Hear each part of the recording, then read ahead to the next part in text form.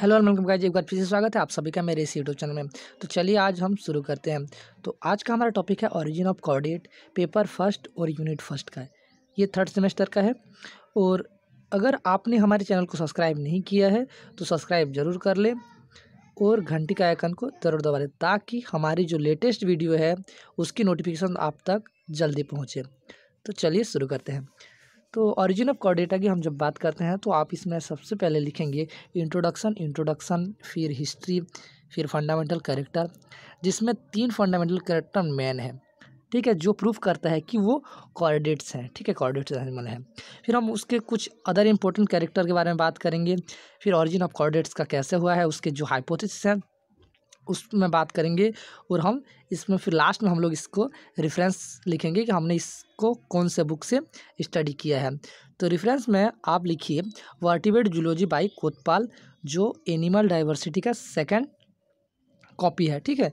वर्टिवेट zoology के दो parts होते हैं, एक एनिमल डाइवर्सिटी होता है, एक दूसरा और कुछ होता है, जिसमें से आप सेकंड पार्ट से ये लिया गया है, ठीक है? तो जब कॉर्डेटा की बात करते हैं तो इंट्रोडक्शन में हम लिखेंगे कॉर्डेटा वर्ड ग्रीक शब्द के दो शब्दों कॉर्डे एंड ईटा से मिलकर बना है। कॉर्डे का अर्थ होता है रज्जू या स्ट्रिंग या जिसको कॉर्ड भी बोलते हैं। तथा ईटा का अर्थ होता है सहित या वहन करना। अर्थात रज्जू या कर्ड एक सदृढ़ स्ट्रॉन्ग आधारशील छड़ के आकार की स्ट्रक्चर है जो शरीर के बैक पार्ट को बेस प्रदान करती है। इसे पृष्ठ रज्जू या नोटोकार्ड कहते हैं। अर्थात नोटोकार्ड या जस्ट सॉरी अर्थात कॉर्डेट उसका डेफिनेशन दे सकते हैं कि कॉर्डेट्स वह जंतु होते हैं जिनमें नोटोकार्ड पाया जाता है, ठीक? तो ये बेसिकली सिंपल सा एक डेफिनेशन हो गया। अब फिर हम हिस्ट्री की बात करते हैं। तो हिस्ट्री में फाइलम कॉर्डेटा की स्थापना जो डिस्कवरी हुई थी, ठीक? उसको बेल फोर नाइनटीन एट्टी ने की थी। ड्यूटोरेस्टोम फाइलम में सबसे विशाल फाइलम कॉर्डेटा है।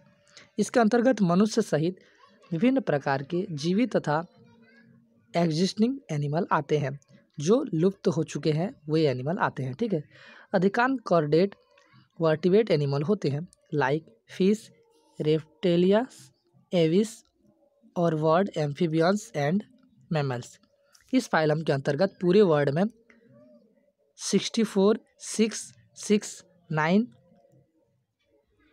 जातियाँ यानी कि स्पीसीज आते हैं एंड इंडिया में five, six six six species पाई जाती है। ठीक? जो बाहरी साउंड आ रहा है उसको थोड़ा इग्नोर करेंगे, ठीक है? थोड़ा सा। फिर हम थर्ड बात करते हैं, थ्री फंडामेंटल कॉर्डेट कैरेक्टर। जो जो कॉर्डेट्स होते हैं, उसके जो कैरेक्टर हैं, उनमें तीन बेसिक कैरेक्टर है, जो कि बहुत ही इम्पोर्टेंट्स हैं और उसी के बेस पर उन्हें कॉर्डेट्स कहा जाता है। तो सभी कॉर्डेट्स एनिमल के लाइफ के किसी न किसी स्टेज में स्पेशल कैरेक्टर शो करते हैं। जिनमें से पहला है नोटोकार्ड या कॉर्डा डॉर्सेलिस ठीक? नोटोकार्ड को कॉर्डा डॉर्सेलिस भी कहते हैं। दूसरा क्या है? इम्पोर्टेंट वो है dorsal tubular central nervous system nervous system और थर्स्ट है फेरेंजियल गिल क्लिफ्ट ठीक, ये तीन मेन इम्पोर्टेंट फंडामेंटल कैरेक्टर है, जो कि कॉर्डेटा में पाए जाते हैं और उन्हीं बेस पर उन्हें कॉर्डेटा कहा जाता है। ठीक? अब सबसे पहले क्या है? नोटोकार्ड नोटोकार्ड क्या होता है?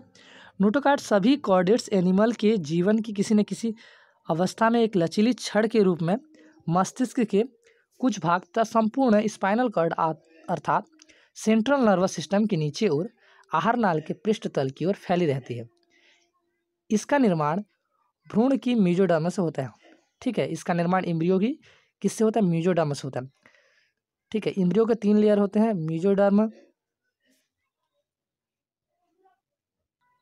अब हम बात करेंगे दूसरा point dorsal tubular central nervous system ठीक है, जो सेंट्रल नर्वस सिस्टम है, सभी कॉर्डेट एनिमल के जीवन की किसी न किसी अवस्था में शरीर के पृष्ठ भाग यानी कि बैक पार्ट में पृष्ठ भाग पर आहार नाल तथा नोटोकॉर्ड के ऊपर एक खोखली नली के रूप में फैला रहता है।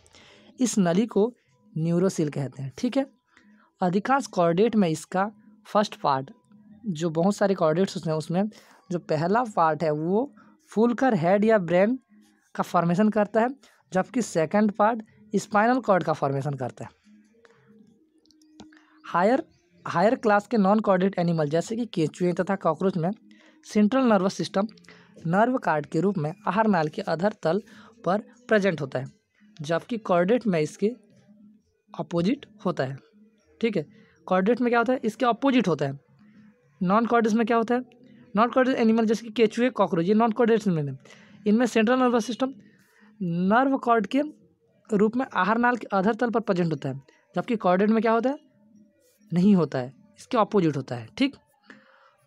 अब थर्ड पॉइंट है फेरेंजियल गिल क्लिफ्ट मतलब फेरेंजियल गिल्स बोल सकते हैं आप। प्रत्येक कॉर्डेट के जीवन की किसी न किसी अवस्था में फेरिंग्स की दीवार में जोड़ीदार लेटरल गिल क्लिफ्ट्स अवश्य बनती है। ये मूलतः रेस्पिरेशन का कार्य करती है, ठीक है?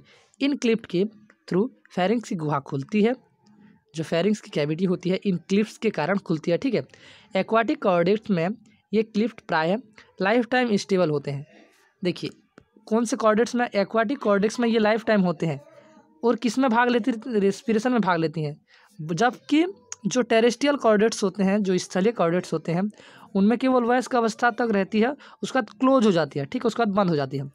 इसके अलावा कॉर्डेट में स्पेशल कैरेक्टर्स होते हैं, जो कि नॉन कॉर्डेट्स में एबसेंट होते हैं।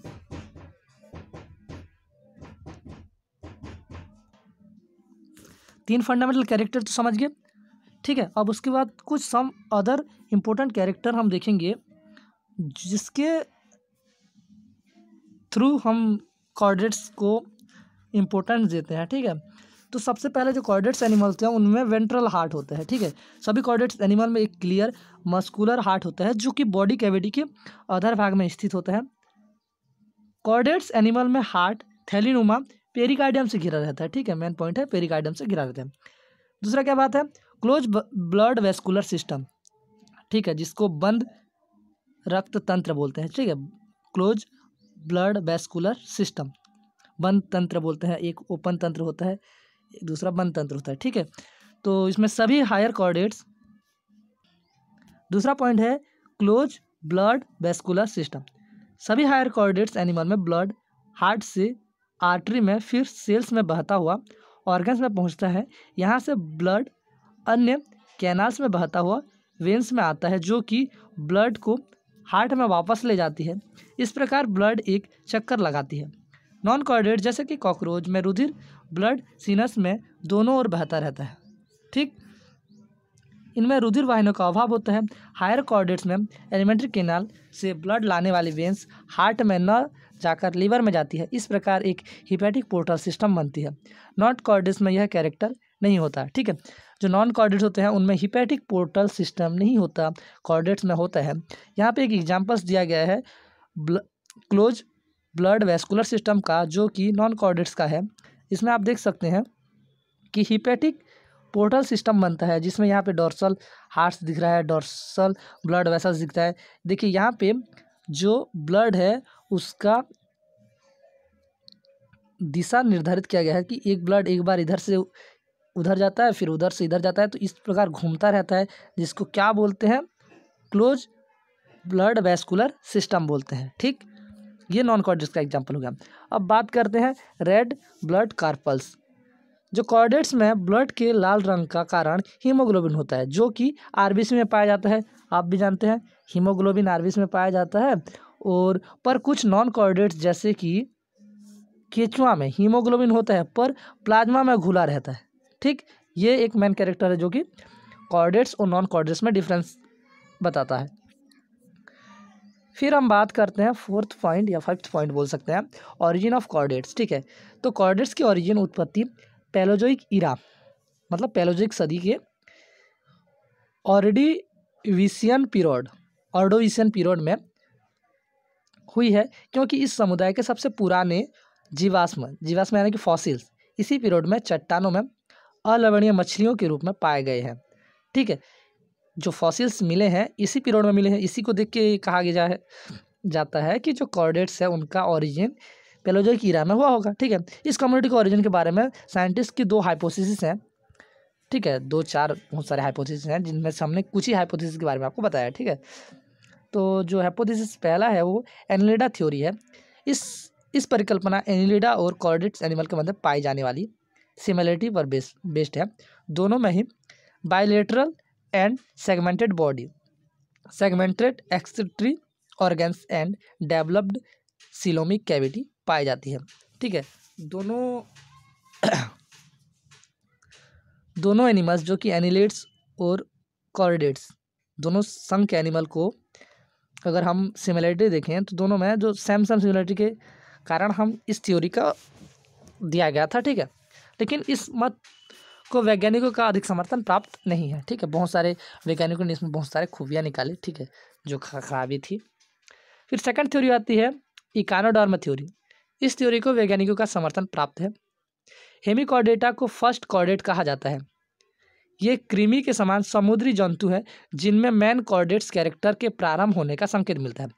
ठीक है, यहाँ से बोल सकते हैं कि कॉर्डेट्स का ऑरिजिन हुआ है, क्योंकि यहाँ से जो मैन कैरेक्टर है कॉर्डेट्स के उनका स्टार्ट होना का एविडेंस यहाँ मिलता है, ठीक है? इनके जीवन चक्र में टॉर्नेरिया लार्वा पाई जाती है, जो कि इकाइनोडर्म की बिपिनेरिया लार्वा से अधिक सिमिलरिटी रखती है। इस आधार पर पृष्ठवंश के निम्नलिखित वंशक्रम को मान्यता देते हैं। और ये जो थ्योरी है इकाइनोडर्म थ्योरी इसको किसने दिया था? जॉनसन मोलेर एटीन ठीक? ये आपको एक ऑब्जेक्टिव क्वेश्चन हो सकता है। आप इसको नोट करिएगा। तो इस थ्योरी के अनुसार उनका जो वंश क्रम है, वो इकानोडर्म और इकुलर लार्वा से फिर हेमिकॉर्ड लार्वा को जाता है। फिर हेमिकॉर्ड लार्वा आगे चल के ट्यूनिका लार्वा में विकसित होता है। फिर ब्रांचिस्टोमा जिसका एक एग्ज़ाम्पल एम्फियोक्सस है, ठीक? फिर वो ऑस्ट्रियो, ऑस्ट्रिको डर्म में जाता है, जिसके अंतर्गत फीसेस आते हैं। फिर ऑर्डोसियन फिरोड में जाता है, फिर लास्ट में टेट्रापोडा में जाता है। इस प्रकार इस थ्योरी, जो इकानोडर में थ्योरी है, उसके तहत इन्होंने वंश क्रम को इस प्रकार बताया कि सबसे इकानोडर में फिर उससे डेवलप्ड होते होते लास्ट में टेट्रापोडा का डेवलप्ड हुआ है, जो कि आगे चल के कॉर्डेटा में डेवलप्ड हुआ। ठीक, इस प्रकार इनका जो ओरिजिन को कुछ हद तक दर्शाते हैं। फिर थर्ड आता है हाइपोथेसिस हेमिकोडेटा थ्योरी इस परिकल्पना को रोमर। 1959 में दिया, उनके अनुसार पैत्रिक ड्यूट्रोस्टोम जो कि टेंटिकल्स को खाने वाले जीव थे, जिनके म्यूकस से भरे रोम छिद्रों का यूज़ प्लैंकटोन्स को ट्रैप करने के लिए किया जाता था। क्योंकि वो पानी में लहराए जाते थे, जैसे कि modern lophophorates pterobranchs hemichordates cephalodiscus and rhabdopleura करते थे। कुछ उत्परिवर्तन के कारण ग्रसनी गिल इन पीतरों में विकसित होते हैं, जो ग्रसनी फेरिंग्स को छलने की तरह प्लैंकटोन्स को ट्रैप करने के लिए बनाता है, क्योंकि पानी का प्रवाह इसके माध्यम से गुजरता है। फोर्थ थ्योरी आता है, जो हाइपोथेसिस है, वो है यूरोकॉर्डेट्स ओरिजिन। इस सिद्धांत को डब्लू गैरेस्टोंग 1928 ने दिया था। ठीक है, यहाँ पे बहुत सारा ऑब्जेक्टिव क्वेश्चन बन सकता है। कौन कौन से? सबसे पहले कि आपके पास क्वेश्चन ऑब्जेक्टिव क्वेश्चन आ सकता है कि यूरो यूरोकॉर्डेट्स थ्योरी किसने दिया था? वो है डब्लू गारस्टैंग 1928 में दिया था। एंड एन जे बेरली 1955 ने इन दोनों ने मिलकर दिया था। उन्होंने यूरोकॉर्डेट्स के टेटपुल लार्वा को महत्व दिया, जो कि स्पेशल कॉर्डेट्स कैरेक्टर को कैरी करता है। ठीक है, यहाँ पे भी देखिए स्पेशल कॉर्डेट्स कैरेक्टर को देखकर ही इन्होंने कहा था कि इनका जो ओरिजिन हुआ होगा, वो कहाँ से हुआ होगा? यूरोकॉर्डेट से हुआ होगा, ठीक है? फिर कैरी करता है, जो नोटोकॉर्ड्स जो लंबे टेल्स से जुड़ा हुआ सेगमेंटेड है dorsal hollow nerve cord and pharyngeal gill slit तथा सेंस ऑर्गन भी यूरोकॉर्डेट्स में प्रेजेंट है, ठीक है? Garstang ninety eight Garstang Garstang nineteen twenty eight ने सुझाव दिया कि कॉर्डेट्स का विकास सेसाइल फ़िल्टर फीडिंग करने वाले यूरोकॉर्डेट से हुआ जो अपनी न्यूटेनी द्वारा वयस्क अवस्था को खोकर लार्वल स्टेज में विकसित हुआ। तो इनका थ्योरी यहाँ तक बोलता है, ठीक है। बहुत सारे थ्योरी और हैं, लेकिन हम इस वीडियो में इतनी थ्योरी को कवर करेंगे, जो कि बहुत होता है। तीन तीन चार चार थ्योरी बहुत होता है, ठीक है। आप इतना थ्योरी लिख के आपकी जो टेन नंबर के जो मार्क होता है, वो ले सकते हैं। फिर कंक्लूजन में आप लिखेंगे कि ऊपर दिए गए सारे परिकल्पनाएँ सटीक रूप से कॉर्डेट्स की उत्पत्ति को नहीं दर्शाती, लेकिन कुछ हद तक यह परिकल्पनाएँ हमें ज्ञान कराती है कि कॉर्डेट्स एनिमल का ओरिजिन पेलोजाइक इरा के आसपास हुआ है। तो reference by Kotpal book vertebrate zoology animal diversity second अगर वीडियो पसंद आया तो वीडियो को एक लाइक करें और अपने दोस्तों का शेयर ज़रूर करें और नोट्स के लिए हमारे टेलीग्राम से जुड़ना ना भूलें। Thank you.